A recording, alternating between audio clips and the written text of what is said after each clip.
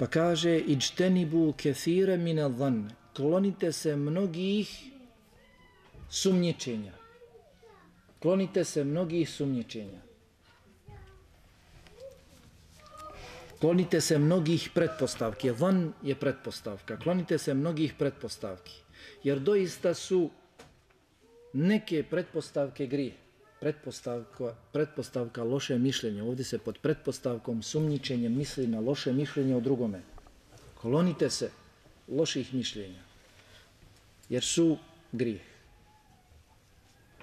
Pa nam se ovim kuranskim ajetom naređuje da imamo jedni u drugima lijepo mišljenje. Ibn Abbas radijallahu anhuma prvi kasnije poslije komentatori kažu ovo je jasan dokaz, ajet, Allah nam poručuje da ne smijemo muslimanima imati osim dobro mišljenje izuzev ako se dokaže drugačije. Čovjeka ne znaš. Ko što malo prije bi riječi, čuli šta je rečeno na dersu, nikad čovjeka nisu vidjeli, pogotovo to isječeno, plasirano, ta je najveći neprijatelj Allahove vjere. Allah sačuva. Dakle, o čovjeku moraš imati lijepo mišljenje. Zašto su naši prethodnici govorili, velikani, kad god izađeš na ulicu, prvu osobu koju sretneš, da kažeš, on je bolji od mene. Da sebe ne vidiš. Kažu, kada sretneš stariju osobu od sebe, reci, on je bolji od mene, uradio je više dobrih dijela od mene. Živi veći, živ, duži moj životni vijek od mog, uradio više dobrih dijela. Ako sretneš mlađu osobu, reci, on je bolji od mene, manje ima grijeha. Ja sam imao šansu da uradim više griha, ja živim duže nego on. Nisu dali pristupa šeitan. Zašto? Jer kad imaš loše mišljenje o nekome, klizeš, kližeš se jarane, dalje, spomenut je ovdje gibet poslije, spomenut je, spomenuto je uhođenje, pa je spomenut špioniranje, spomenut gibet, ko bude imao loše mišljenje o svome bratu, pusti da se to nastani u njegovim prsima dobro, da uzme maha, onda će tragati da opravda to svoje loše mišljenje, pa će uhoditi. Pa će ljudi, ja vam kažem da taj nije dobar. Čuvajte se to. Gdje ti je dokaz? Pa će početi uhoditi čovjeka. Tragati za njegovim mahanama, sramotama. Da dokaže ko je on. Sjećate se kad je Omer bahnuo čovjeku, skrova skočio, da ga ufati da pije. Kaže, dobro Omere, ali kasnije se ispostavilo da nije bilo alkohol.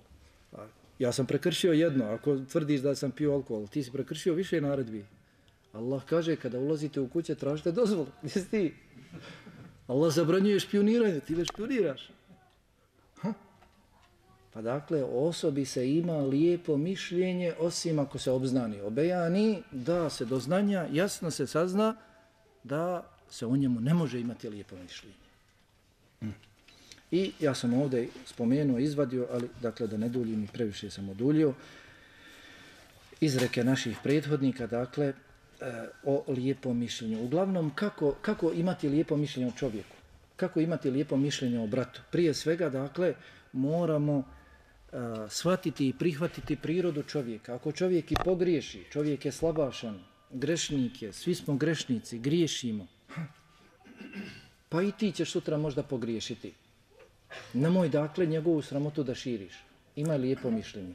Vjernici su, kako se spominje u govorima Selefa, oni koji savjetuju i skrivaju. A monafik je onaj koji traga i razotkriva. Vjernik kada primijeti mahanu kod drugoga, posavjetuje i nikome ne govori. Posavjetovao ga i ne, ej ljudi, ja, hajte vam sa mnom ukolo da vam kažem ko je on i šta je. To nije. A munafik još razotkriva, traga, špionira, zapisuje i poslije na kliksu i na drugima objavi. Ha? Izbaci tamo negdje. To dakle nije osobina vjernika. Nije problem ti radi. Ovo sam htio da kažem vezano za prošli ders. Inače ovako među nama. Braćo, mi možemo jedni drugima glumit i mi možemo jedni drugima iza leđa svašta govorit, a na, na, dru, na ovako jedni drugima osmijeh i ostalo, nemojmo zaboraviti, Allah nas gleda. Mi kada se obhodimo s bratom bola, mi se obhodimo sa Allahom. Kao što je Allah rekao, bola među vama je Allahu poslani, kako možete tako govoriti, Allah će ga obavijest, isto tako Allah će prije ili kasnije dati da izađe na vidjelo ko je kakav.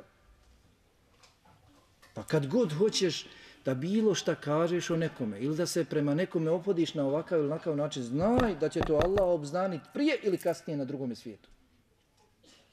Prije ili kasnije ti ako hoćeš nekoga da osramotiš na Dunjaluku, da se o njemu priča tako i tako, znaj da ćeš i ti prije ili kasnije biti osramoćen, jer Allah to sve gleda, Allah to sve nadzire, prati.